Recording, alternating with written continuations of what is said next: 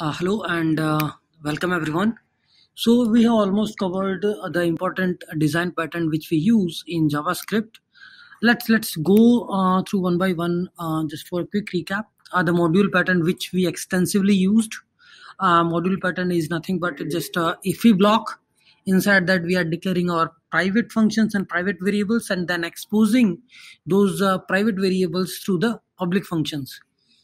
You can see that here here I have a private method and further I will be revealing that private method from the object I'm returning. So this is a private method and I'm having uh, this mapping here, public uh, method one and this public method one may be calling this private method and that private method will be returning some private variables. So this is how we actually able to secure the private variables and private functions and expose them through the uh, in, through the different ways.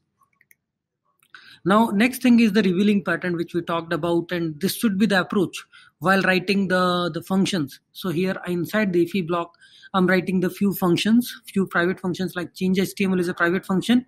Okay. And I'm exposing this change HTML functions through the call change HTML uh, property of this object, which this function is returning. So what I need to do HTML changer dot call change HTML, right?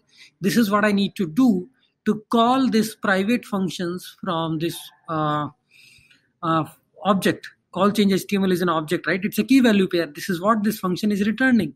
And call change value html is representing the function which call, which is calling this private function okay? So what i need to do?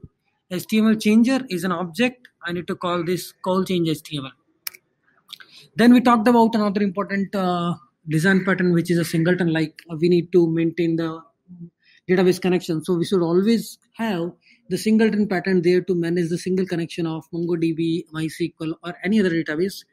Uh, something like this. So we have the init function which is returning some object. What we wanted to do, if the instance, if this is a private variable is declared here, if the instance is null, then call this init method and get the object, otherwise return the existing uh, instance which we already have right?